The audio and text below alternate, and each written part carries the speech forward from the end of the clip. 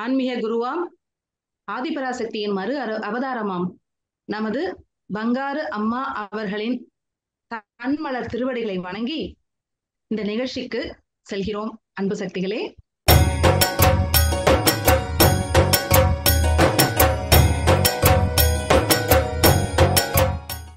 இன்றைய நிகழ்ச்சியில் தட்சைக்காடு மன்றத்தை சேர்ந்த சக்தி திருமதி இளமதி அவர்கள் முதலில் பேச இருக்கிறார். சக்தி. குருவடி சரணம் திருவடி சரணம். நான் கடலூர் மாவட்டத்துல பச்சைக்காட்டு மன்றத்துல வந்து செவ்வாட தொண்டரா இருக்கிறேன். என் பேர் இளமதி. உம் எனக்கு திருமணமாகி பதினஞ்சு வருடங்கள் ஆகிய சக்தி. எனக்கு இரண்டு பெண் பிள்ளைங்க இருக்காங்க. உம் அவளுக்கு இது அம்மாவோட அனுபவம் நிறைய இருக்கு சக்தி. அதுல வந்து சொல்லணும்னா நிறைய இருக்கு. சொல்றதுக்கு நேரம் இல்லை. அது ஒரு சில அனுபவத்தை கண்டிப்பா நான் சொல்லி ஆகணும் சக்தி. அது என்னன்னா உம் நானும் என் கணவர் திருமணமாகி முதல் வழி போகும்போது எங்க ஊர் பஸ் ஸ்டாண்ட்ல நின்றுட்டு இருந்தோம். அப்போ ஒரு அம்மா வந்து ஆஹ் அம்மா நீ மாலை போடு சக்தி மாலை போடுன்னு சொன்னாங்க. அந்த கல்யாணம் பண்ண ஒரு சந்த ஒரு புது சம்மதிகள்ன்றத அதை வந்து நான் பொருட்படுத்தவே இல்லை. ஆனால் ஆஹ் ஒரு பெண் குழந்தை பிறந்த பிறகு நானும் என் கணவரும் பிரிஞ்சிட்டோம் சக்தி. நான் குழந்தை தூக்கிட்டு அம்மா வீட்டுக்கு வந்துட்டேன்.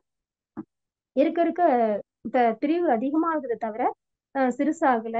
அப்போதான் நான் நினைச்சிட்டேன். எனக்கு ரொம்ப யார்கிட்ட சொல்லி அழுதுன்னு தெரியல. மனசு ரொம்ப கஷ்டமான சக்தி.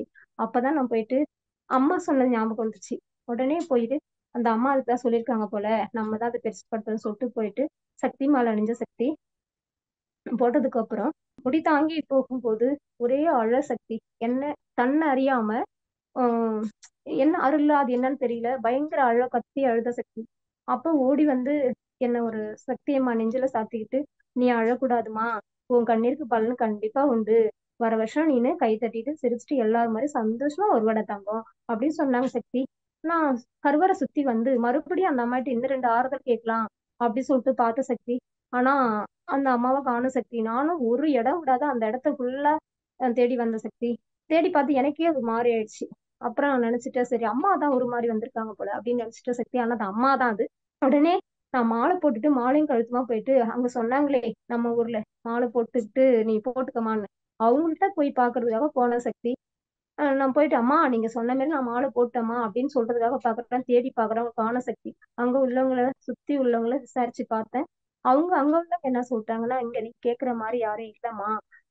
யாரோ ஒரு வயசான பாட்டி இருந்தாங்க. அவங்க ரெண்டு வருஷத்துக்கு முன்னாடியே இறந்துட்டாங்கம்மா. நீ சொல்ற மாதிரி யாரும் இல்லைன்னா. அப்பவும் நினைச்ச சக்தி அது நம்ம அம்மா தான். அது மாதிரி முதல் முதல்ல அம்மா வந்து நல்ல காட்சி அளிச்சாங்க எனக்கு.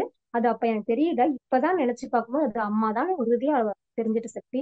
அப்படியே அம்மாவோட அருளால என் குடும்பம் சந்தோஷமா போயிட்டு சக்தி. நானும் சந்தோஷமா அம்மாவோட வருஷம் வருஷம் சக்தி மாலை அணிஞ்சிட்டு குடும்பத்தோட போயிட்டு வந்த சக்தி. பெரிய பொண்ணுக்கு பதினாலு வயசு. அது அப்புறம் சின்ன பொண்ணு பிறந்துட்டா. ரெண்டு பேரும் நல்லா ஸ்கூல் போயிட்டு நல்லா படிக்கிறாங்க பதினாலு வயசானதும் பெரிய பொண்ணாயிட்டா பெரிய பாப்பா. அப்போ வந்து அதுல வந்த மொய் பணம் நகை எல்லாத்தையும் எடுத்துட்டு போய் வீண் செலவு பண்ணாம எல்லாம் எடுத்துட்டு போயிட்டு நிலம் பிடிச்ச சக்தி. நிலம் பிடிச்சதும் எனக்கு மாசூல் பத்தி தெரியாது வயல் வேலை பத்தி தெரியாது. ஏதோ போய் சேர்ந்துட்டோம். எல்லாம் ஆசையா எல்லாம் மாசு பண்ணி நானும் போய் சேர்ந்துட்ட சக்தி. ஆஹ் நல்லபடியா நல்லா ப போயிட்டு இருந்த சக்தி. அறுவடை பண்ண போற நேரம் சக்தி. அதாவது தொண்டைப்பயிர்னு சொல்லுவாங்கல்ல பூ அந்த பூ வந்துருச்சு. உடனே வயல் மழை வராத தண்ணி வராத காஞ்சிச்சு சக்தி. எல்லா சக்திகளும் கொள்ளையில வயல்ல போய் நின்றுட்டு எல்லாரும் அழுகுறாங்க நான் போய் பார்த்துட்டு திரும்பி வரும்போது ஒரு சக்தி சொன்னாங்க இந்த வருஷம் மாசுல எதிர்பார்க்க முடியாது. அவ போனது போனதான்னு சொல்லிட்டாங்க சக்தி. ஆனா எனக்கு மட்டும் மனசு தாங்கல. என்னடா வர மொத மொத நம்ம வந்து வாசல் பண்றோம் இந்த மாதிரி போகுதுன்னு சொல்லிட்டு அம்மாவோட புக் எடுத்துட்டு வச்சு வழிபாடு பண்ண சக்தி. வழிபாடுனா எப்படின்னாக்க மனசார மனசளவுல வழிபாடு. எப்படின்னாக்க உம் குங்குமம் கொடுப்பியம்மா இந்த குழந்தைகளை பாரம்மா. சந்தனம் கொடுக்குறியம்மா இந்த சங்கடத்தை தீரம்மா. மஞ்சள் கொடுக்குறியம்மா இந்த மக்கள் பசி தீரம்மான்னு சொல்லிட்டு நான் பயங்கரமா அழுதுட்ட சக்தி. அழுத பிறகு எனக்கு கண் கண்ணீரா வந்து சளி பிடிச்சிருச்சு. நான் அப்ப சொன்னேன் என் சளி பிடிக்கிறது கூட பெருசா நினைக்கல. இந்த கண்ணீர் ஃபுல்லா மழையா மாறி எல்லா விவசாயிகளும் அறுவடை பண்ணணும். இதுதான் என்னோட சந்தோஷமா அப்பதான் அந்த சக்தி இருக்கிறத எல்லாம் நம்புவாங்க. நான் கட்டுற செவ்வாடைக்கு பவர் இருக்குன்னு எல்லாம் தெரிஞ்சுப்பாங்கம்மா. அப்படி சொல்லிட்டு நான் வந்துட்ட சக்தி. அந்த நைட்டுக்கு பெஞ்ச மழை சக்தி ஒரு வாரம் விடாம பெஞ்சிட்டு சக்தி. ஃபுல்லா நல்லா அறுவடை பண்ணி எல்லாரும் நல்லபடியா முடிச்சாங்க சக்தி. நெல் வந்து எல்லாரும் கூடதும் மாதிரி எனக்கு நெல் வந்து ஒரு டிஃப்ரெண்டா அதாவது கலர் பவர்ஃபுல்லாகவும் நெல் கூடுதலாவும் இருந்துச்சு. எல்லாரும் கேட்டாங்க இந்த தண்ணி இல்லாத சமயத்துல உனக்கு மட்டும் இப்படி இந்த அளவுக்கு நெல் கூடுதலாச்சு அப்படின்னாங்க. எனக்கு என் அம்மா இருக்காங்க என் பங்காரம்மா இருக்காங்க என் திருவடி அம்மா என் குருவடி அம்மா எல்லாருமே எனக்கு துணை இருக்காங்க. எனக்கு இதை விட என்ன குறைச்சுன்னு சொல்லிட்டு அவங்கள்ட்ட ஸ்ட்ராங்கா பேசிட்டு வந்துட்டு சக்தி. மூணாவது அனுபவம். என் குடும்பத்தோட மாலை போடு மறு வருஷம் குடும்பத்தோட மாலை போடுற சக்தி ஆஹ் போடும்போது ஆஹ் பத்தாயிரம் ரூபாய் தான் கொடுத்தாரு அந்த அந்த அந்த மாசம். ஆறாயிரம் ரூபாய் குழு பணம் கட்டி நாலாயிரம் டேன் ஃபீஸ் கட்டிட்டேன் சக்தி பஸ் கட்டிட்டேன். பைசால கொடுத்தப்ப காசே இல்லை சக்தி என்ன பண்றேன்னு தெரியல. உம் சரி யார்கிட்ட வாங்கலாம்? என்ன பண்ணலாம்? எனக்கு கடன் கேட்டா யாருக்கும் பிடிக்காது. இருந்தாலும் நம்ம அப்பா அம்மா தானே அவங்ககிட்ட ஒரு ஆயிரம் ரூபாய் கேட்டு வாங்கிட்டு போலாமே அப்படின்னு நினைச்ச சக்தி அப்புறம் ஏன் ஏடிஎம்ல எவ்வளவு இருக்கு? சரி ஒரு முந்நூறு ரூபாய் கிடந்துச்சு. அந்த முந்நூறு ரூபாய் எடுத்துக்கிட்டு அப்பாட்ட ஒரு ரூபாய் வாங்கிட்டு இதையும் சேர்த்து கொண்டு போலான்ட்டு போய் ஏடிஎம் எடுத்து பாக்குற சக்தி மூவாயிரத்தி முந்நூறு ரூபாய் வந்துச்சு சக்தி அதுல. எனக்கு சந்தோஷம் தரமுடியல ஏடிஎம் கார்டு வச்சுட்டு கூட அம்மா சத்தியமா பங்காரம்மா எனக்கு நல்ல வழி வளர்த்துட்டீங்களே சொல்லிட்டு சந்தோஷம் தாங்கலன்னு சக்தி. உம் பிறகு அந்த காசு எடுத்து சந்தோஷமா போயிட்டு வந்தேன். ஏன்னா அம்மா வந்து அம்மா தான் கண்டிப்பா கொடுத்துருக்காங்க. ஏன்னாக்க நம்ம வயல்ல வந்து நிறைய நாத்து நெருக்கமா இருந்துச்சு. அந்த நெருக்கமா இருக்கும்போது களைச்சி போட்டு பிடுங்கி எடுத்துடணும்னு சொன்னாங்க. நான் களைச்சி போட்டு பிடுங்கி ஆஹ் யாருக்கிட்டே கொடுக்கறது வேஸ்டா தானே போகும். சரி அதுல உள்ள காசு எடுத்து நம்ம ஏதாவது அம்மாவுக்கு செலவு பண்ணலாம்னு சொல்லிட்டு நாத்து கொடுத்துட்டு ரெண்டாயிரம் ரூபாய் கொடுத்தாங்க சக்தி. அந்த ரெண்டாயிரம் எடுத்துட்டு வந்து நாங்க மாலை போட்டோம் இல்லையா? அன்னைக்கு அன்னதானம் பண்றதுக்காக அந்த காசு செலவு பண்ண சக்தி அரிசி எடுத்து கொடுத்தேன். அன்னதானம் நல்லபடியா நடந்தது சக்தி. அப்பதான் அம்மா அப்ப இவ கையில இருக்கும் சக்திங்களுக்கு செலவு பண்றாளே. இவன் நாளைக்கு இதுக்கு காசு இல்லாம தவிக்கிறாள் இவளுக்கு நம்ம பிள்ளைக்கு நம்ம தானே கொடுக்கும் சொல்லிட்டு அம்மா கண்டிப்பா எனக்கு அந்த காசு அம்மா தான் சக்தி கொடுத்தாங்க. நாங்க எடுத்துட்டு போய் திருப்தியா போயிட்டு சந்தோஷமா வந்து சந்தோஷமா இது வரைக்கும் சந்தோஷமா தான் இருக்கும். எங்க சந்தோஷத்துக்கு கொஞ்சம் கூட குறையில சக்தி. ஏன்னா நம்ம எல்லாம் அம்மாவோட பிள்ளை இல்லையா? அதனால சந்தோஷத்துக்கு குறை இல்லாம நல்லபடியா இருக்க சக்தி. அப்புறம் சக்தி எங்க அக்கா பொண்ணுக்கு கல்யாணம் பண்ணி அஞ்சு வருஷம் ஆகுது. ஃபர்ஸ்ட் பெண் குழந்தை அவளுக்கும் அப்படித்தான். குழந்தை பிறந்த ரெண்டு வருஷம் கழிச்சு ஒரு வருஷம் கழிச்சு கண்ணீர் கட்டி வந்துச்சு நீர் கட்டினா பெருசா ஒரு மூணு கிலோவில் கட்டி எடுத்துட்டாங்க. எடுத்தவங்க என்ன டாக்டர் என்ன சொல்றாங்க அஞ்சு வருஷத்துக்கு குழந்தை பெற்று கூடாதுன்னு சொல்லிட்டாங்க சக்தி சரின்னு சொல்லிட்டு நாங்களும் பயந்துட்டு இருந்தோம். ஆனா ஒரு வருஷம் கழிச்சு கன்சீவ் ஆயிட்டுன்னு என்கிட்ட சொன்னான். அம்மா நான் தலை குளிக்காம இருக்கேன் அப்படின்னு சொன்னான். சரிம்மா இது எல்லாமே அம்மா பாத்துப்பாங்க நீங்க ஒண்ணு பண்ணணும் அது மட்டும் குழந்தை வளர்க்குன்னு சொன்ன சக்தி. அப்புறம் குழந்தை நல்லபடியா வளர்ந்துட்டு இருந்துச்சு. உம் எட்டு மாசம் சக்தி. அந்த எட்டு மாசத்துல எப்படி எனக்கு அனுபவம் இருந்தா நானும் எங்க அப்பா எங்க அப்பா பொண்ணும் டீ போட்டு குடிச்சிட்டு பிஸ்கட் தொட்டு சாப்பிட்டு ஜாலியா பேசிட்டு இருக்கும்போது வயிற்ற பார்த்து எங்கம்மா வயிறு சப்பையா இருக்கு? குழந்தை காணோம் அப்படின்னு எங்க அவளும் பார்த்து தேடி பார்த்து காணாம கீழே பார்த்தா அவ கால் மடங்குல சுத்தி ஒரு அழகான குழந்தை அழகான அஞ்சு மாசத்து குழந்தை எப்படி இருக்கும்? அந்த மாதிரி கை கால் நல்லா உதச்சிக்கிட்டு கவன் போட்டுட்டு மை போட்டு வச்சுக்கிட்டு நல்லா சிரிச்சு முகத்தை பார்த்து சிரிச்சு சிரிச்சு விளையாடுது சக்தி உடனே குழந்தைய தூக்கி எனக்கு சந்தோஷம் தாங்கல என்னம்மா தானா பிறந்துருச்சு குழந்தை அப்படின்னு சொல்லிட்டு எனக்கு சந்தோஷம் தாங்கல சக்தி. உடனே கண் விழிச்சு பார்த்தா கனவா இருக்குது. உடனே சென்னையில இருக்கிற அக்கா பொண்ணுக்கு உடனே போன் பண்ணாமா உனக்கு ரெண்டாவதும் பெண் குழந்தை தான். மனசு திருக்கும் நீ பையனுக்கு ஆசைப்படாத. ஆனா பிறக்க போற குழந்தை தெய்வ குழந்தை. தெய்வசமா பிறக்கும். உம் நல்லபடி வழி இல்லாத தானாதான் பிறக்கும். ஆஹ் ஆனா குழந்தை பிறக்கும்போது நான் மட்டும்தான் இருப்பேன். வேற யாரும் டாக்டர் கூட இருக்க மாட்டாங்க. உங்க அப்பா அம்மா கூட இருக்க மாட்டாங்க. ஏன்? உனக்கு கட்டின புருஷன் கூட இருக்க மாட்டாங்க. நான் மட்டும்தான் இருப்பேன். செவ்வாடையில தான் இருப்பேன். அப்படிதான் உனக்கு இருக்கும். அது தெய்வ குழந்தையா தான் வரும்னு சொல்லிட்ட சக்தி. அதே மாதிரி பாப்பா வந்து ஆஹ் ஒன்பது மாசம் நெருக்கட்டத்துல வந்துட்டா. ஏன்னா சென்னையில இருந்து ஒரு பத்து நாள் முன்னாடியே வர சொல்லிட்டு வந்துட்டா என்கிட்ட. நான் போயிட்டு செக்அப் தான் சக்தி போனேன் செக்அப் போனும்போது ஆஹ் ஒரு வாரம் கழிச்சு செக்அப் போனேன். இங்க பக்கத்துல நம்ம வீட்டுக்கு பக்கத்துல ஒரு சின்ன அரசு மருத்துவமனை. அதுல போயிட்டு தடுப்பூசி போட்டு எப்படி இருக்கலாம் இன்னும் எவ்வளவு நாள் இருக்கு குழந்தை பிறக்கிறதுக்கு அப்படின்னு சொல்லிட்டு போன சக்தி. அவங்க பார்த்துட்டு என்ன சொன்னாங்களா ஆமா குழந்தை வந்து இன்னைக்கே டெலிவரி ஆயிடும். நாங்களே பாத்துடுறோம் அப்படின்னு சொன்னாங்க. எனக்கு ஆச்சரியம்னா ஆச்சரியம் தாங்கல சக்தி. ஏன்னா பெரிய ஆப்ரேஷன் பண்ணவங்க அஞ்சு வருஷத்துக்கு குழந்தை பெற்றுக்கூடாதுன்னு சொன்னாங்க. நாங்க வந்து எனக்கு அதிர்ச்சி தாங்கல. என்னடா அது இந்த ஆஸ்பத்திரியில தான் ரிப்போர்ட் கொடுத்துருக்காங்க. இங்கதான் டெலிவரி பார்க்கணும். வேற எங்கேயாவது பார்த்தாக்க ஏதோ விதத்துக்குள்ளதான் ஆயிடும் அப்படின்னு சொல்லி எங்களை பயமுறுத்தினாங்க சக்தி. இந்த அம்மா இப்படி சொல்றாங்களேன்னு சொல்லிட்டு இருந்தேன். அவங்க வந்து அப்ப எனக்கு கண்ட கனவு கரெக்டா இருந்துச்சு. சக்தி நான் யோசிச்சேன் அப்ப இது தெய்வ குழந்தை தான். கண்டிப்பா இது இங்கதான் பிறக்க போகுது நினைச்சு தைரியமா சொல்லிட்டேன் நர்ஸுக்கிட்ட சரிம்மா நீங்களே டெலிவரி பாருங்க நான் கூட இருக்கேன்னு சொல்லிட்டேன். அதே மாதிரி சக்தி நான் மட்டும்தான் கூட இருக்கேன். பாப்பாக்கு ஒரு சின்ன வழி கூட வரல. நானும் அவளும் சாப்பிட்டுட்டு டீ சாப்பிட்டு ஜாலியா விளையாண்டுட்டு இருந்தோம். நைட்டு எட்டு மணிக்கு வந்து நர்ஸ் வந்து சாதோ கூப்பிடுறாங்கம்மா உனக்கு வா டெலிவரி பார்க்க போறோம் வான்னு சொல்லி கூட்டிட்டு போயிட்டு டெலிவரி பார்த்தாங்க சக்தி.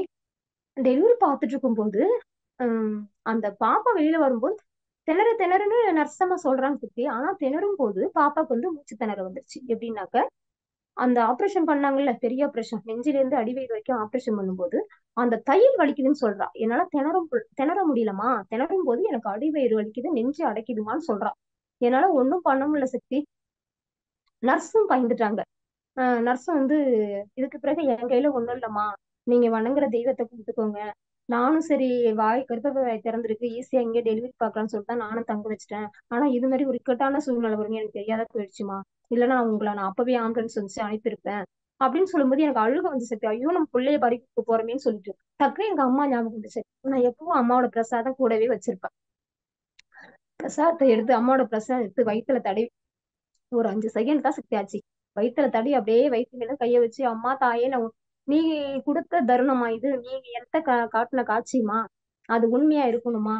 நான் உன்னை நம்பி இங்க சேர்த்துட்டேமா பங்காரமா அப்படின்னு சொல்லிட்டு பங்காரமா ஒரு நிமிஷம் அந்த பாதத்தை நினைச்சு அழுது அந்த குடும்பத்தை வயிற்றுல தடவை சக்தி அஞ்சு செகண்ட்ல பாப்பா பண்ற சக்தி நான் எப்படி கனவுல பார்த்தனோ அதே மாதிரி தெய்வ குழந்தை. கரெக்டா அதே மாதிரி வந்துட்டா சக்தி. நல்லபடியா இருந்துச்சு. இப்ப அந்த குழந்தைய நாங்க வச்சுட்டு குடும்பம் எல்லாருமே சந்தோஷமா இருக்கும். சக்தி காவியா பேர் வச்சுட்டு தெய்வ குழந்தை இனிமே நல்லா தாமரை முட்டு மலர் மாதிரி விழுந்து விளையாடுற சக்தி அடுத்தது எனக்கும் என் கணவருக்கும் ஒரு சவால் சக்தி. என்னன்னா நீ எந்த நேரமும் செவ்வாடையே இருக்கியே? அப்படி என்னதான் பண்றாங்க உங்க அம்மா உனக்கு? அப்படின்னு சொல்லுவார் சக்தி. நான் வடிக்கிட்டு சொல்லுவேன் இது வந்து அனுபவிச்சதான் உங்களுக்கு எல்லாம் தெரியும். நீ நக்கலா பேசாது நீ என்ன எது வேணாலும் பேசுங்க. என் பங்கார அம்மாவோ என் அம்மாவோ எதுவுமே நீ பேசக்கூடாதுன்னு சொன்னேன். அவர் அடிக்கடி நக்கலா பேசும் சக்தி. திடீர்னு நாங்க ரெண்டு பேரும் வயலுக்கு போன சக்தி. போயிட்டு வரும்போது அவர் கால்ல என்ன குத்துச்சுன்னே தெரியல. வீட்டுக்கு வந்து பார்த்து ஒரு பத்து நிமிஷம் தூங்கினார் படுத்து. தூங்கி எழுந்து வைக்கும்போது கால் எடுத்து அடியில் வைக்கவே முடியல சக்தி. கால் எடுத்து வச்சா கால் பெருசா புருபுருன்னு வீங்கிடுச்சு. என்ன பண்றதுல? ஃபீவர் வேற பயங்கரமா இருந்துச்சு. உடனே பார்த்தேன். ஃபீவர் நிக்கிறதுக்கு பாராசிட்டமல் மாத்திரை ஒண்ணு போட்டுட்டு உடனே அம்மாட்ட போய் சொன்னேன். அம்மா கால் இந்த அளவுக்கு வீங்கிடுச்சு. நான் ஹாஸ்பிட்டல் கூட்டு போட்டா நீங்க சரி பண்றீங்களா சக்தின்னு கேட்டேன். சரி பண்றீங்களாமான்னு கேட்டேன். நான் சரி பண்றேன் அப்படின்னு சொல்லிட்டு எனக்கு மேல வந்து உத்தரவு கொடுத்தாங்க. சரி அம்மா நமக்கு உத்தரவு கொடுத்துறாங்கன்னு சொல்லிட்டு.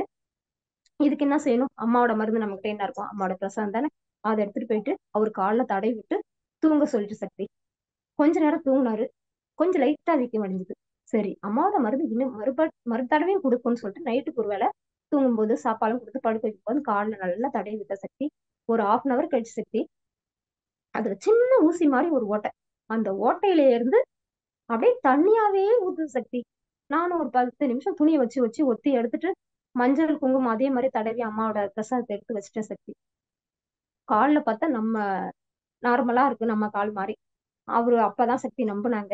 அப்புறம் சொன்னாங்க ஓம் சக்தி உங்கள்கிட்ட நீ கட்டுற செவ்வாடைக்கு பவர் இருக்கு. பரவாயில்ல ஓம் சக்தி நான் அவன் அலட்சியமா பேசிட்டேன். என்னை மன்னிச்சிருந்தேன் என்னை மன்னிப்பு என்கிட்ட கேட்காதீங்க. நம்ம பங்காரம்மாட்ட கேளுங்க அப்படின்னு சொன்னேன். அப்புறம் அதுல இருந்தா சக்தி அவர் நம்ப ஆரம்பிச்சாரு. அவரு செவ்வாடன்னா அதுக்குள்ள தனி மரியாதைன்னு கொடுக்க ஆரம்பிச்சிட்டாரு. ரொம்ப சந்தோஷம் சக்தி.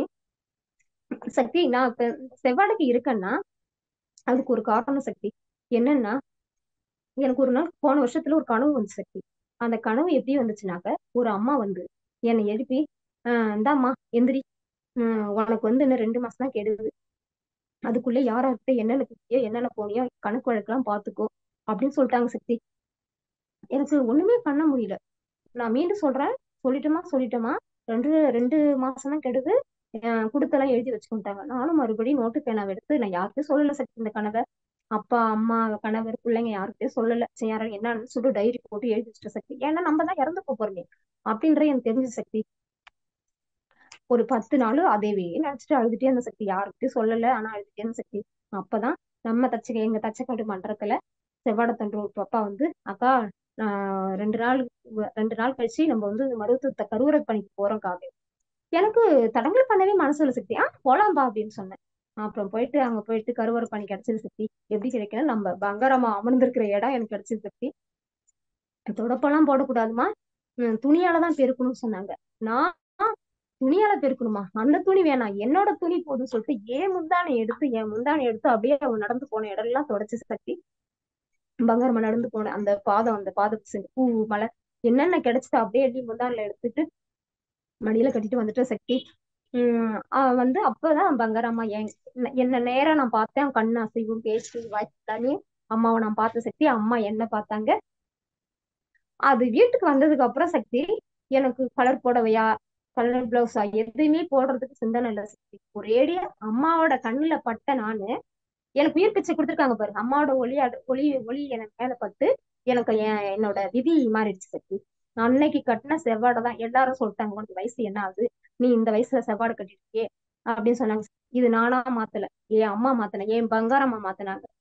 எனக்கு மறுபடியும் அவங்க எப்ப மாற்றம் கொடுக்குறாங்களோ அப்பதான் மாறுவேன். உனக்காகவோ அடுத்தவங்களும் நான் மாற்ற முடியாது. இது வந்து என் அம்மாக்காக நான் மாறினது அப்படின்னு சொல்லிட்டு பேசிட்டு வந்துட்டேன் சக்தி. அதுல ஆரம்பிச்சதான் சக்தி இன்னமும் இவரும் செவ்வாடையில தான் சக்தி இருக்கிறேன். இப்போ ரொம்ப சந்தோஷமா இருக்கு சக்தி. ஓம் சக்தி. அம்மா வாழ்க குரம்மா வாழ்க பங்காரம்மா வாழ்க. ஓம் சக்தி. ஒருவடி சரணம் ஓம் சக்தி இளமதி சக்தி. ரொம்பவே சிறப்பாக சொல்லி முடிச்சிருக்கீங்க. ஈட்டி எட்டிய வரை பாயும் பணம் பாதாளம் வரை பாயும் பக்தி அதற்கு மேலும் பாயுமடா மகனே. அப்படிங்கிற அந்த அருள்வாக்குக்கு இணங்க உங்களுடைய பக்தியால உங்க பகுதியில மகசூல் அதிகப்படுத்தி காட்டியிருக்கீங்க. அதே மாதிரி அம்மாவோட அருளால விளைஞ்ச அந்த நெற்கதிர்கள் வந்து வழக்கத்துக்கு மாறா மின்னக்கூடிய அற்புதம் உங்களால அந்த பகுதியில எல்லாரும் பார்த்துருக்குறாங்க.